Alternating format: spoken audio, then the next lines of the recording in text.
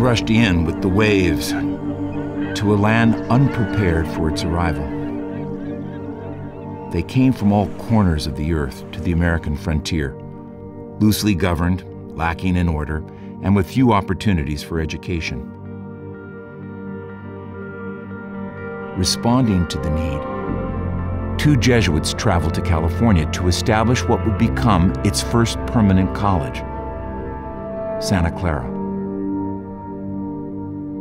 Almost immediately after founding the college, Father Nobili began making purchases from Europe, filling the shelves with what would soon be one of the finest assortments of scientific apparatus the West had seen.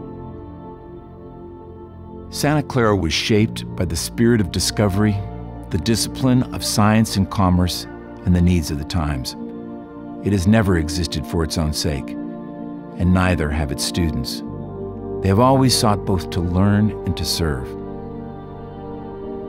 Throughout the 1900s, Santa Clara's influence only grew.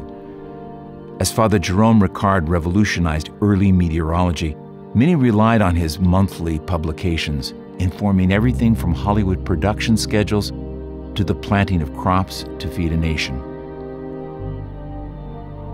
John Montgomery, a Santa Clara graduate and later physics professor, showed the potential for flight with his pioneering flying machines, some 20 years before the historic achievements of the Wright brothers. The world today is ever more complex ever more in need of new ideas and new ways of thinking about solutions to problems that defy conventional approaches. The well being of our world and the future of our society depend upon a new spirit, a new philosophy of innovation. The world looks to the ideas, the thinking, the values that have fueled the rise of Santa Clara and that today inspire it to even more to become a center of innovation and entrepreneurship in service to humanity. We live in a world that races, day in and day out, to grow and advance bigger, better, faster, to find what's next. Santa Clara has always been a pioneer in discovery, in generating new knowledge, in technological advancement. But the difference at its core lies in asking why in seeking a purpose, in the values that inspire and drive our work, in the quest for a more just, humane, and sustainable world. While it is in our nature to adapt, to grow, to innovate, Santa Clara has always gone beyond that. And we continue to every day.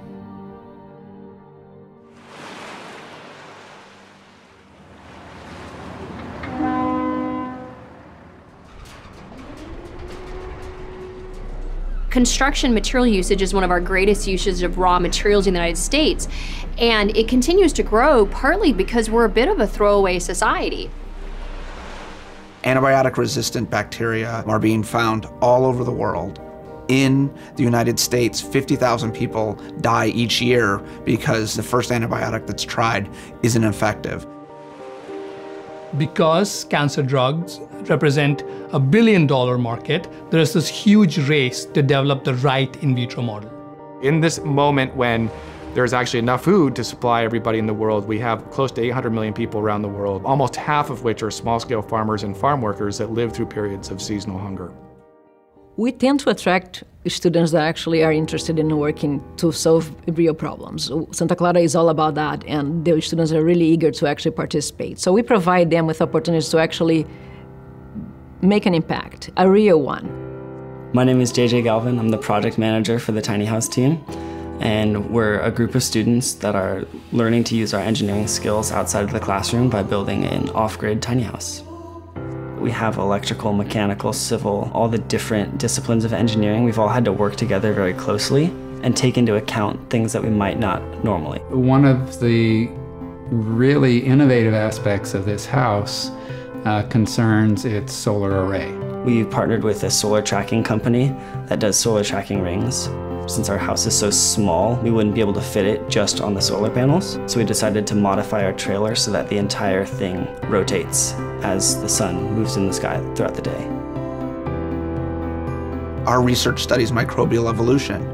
Uh, recently, we've used our knowledge to start a collaboration with Alameda Public Health Labs. And in this collaboration, we're developing software that will use whole genome sequence information to both identify bacteria, but then also identify what mutations they might carry that confer antibiotic resistance. It's not every day that an undergrad student gets to say, we have the potential to patent this, you know, like the software, this incredible tool that can be applied directly, you know, to patients, to hospitals, to communities. That's not the norm. So as you can imagine, it's quite impractical and maybe even very expensive to use actual human patients to test for or discover new cancer therapeutics. How our lab is contributing to this a little differently is by trying to understand what parameters may affect cell responses to new drugs. Once we have optimized the final parameters that are necessary for these biomaterial scaffolds to mimic or predict human responses to new therapeutics, these parameters can then be deployed to various scientists and researchers around the world so they can come together and discover new therapeutics against cancer, which is one of the biggest challenges we face in the world today. Right now, I feel that environmentalism has a very like narrow narrative that is pretty exclusive to most of the people actually affected by environmental degradation.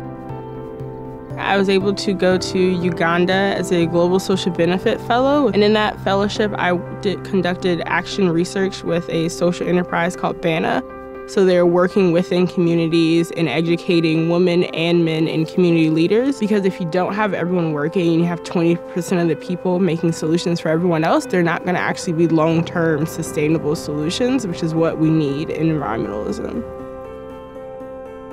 We just finished the first year of a project looking at food and water security with small scale farmers.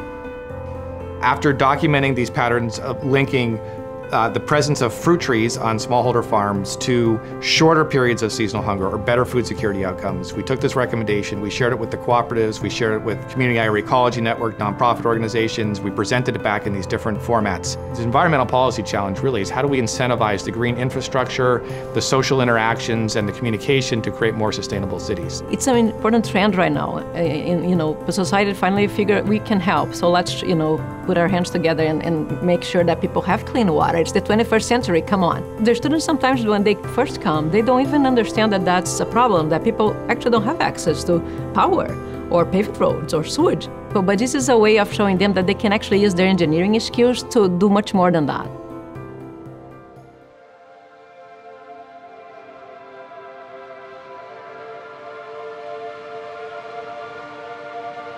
Progress for the sake of progress can have an intoxicating appeal but it can also mean missed opportunity. There's an ethical obligation to keep in mind while racing toward discovery and innovation. As you enter your respective fields in computer engineering, biophysics, public health, remember that good work goes beyond whatever you can create in a lab.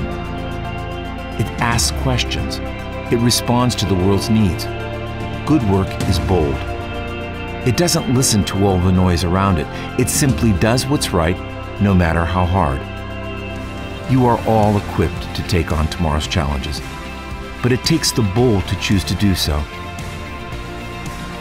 The future will always favor the bold, my friends, because it's never been enough simply to win the race.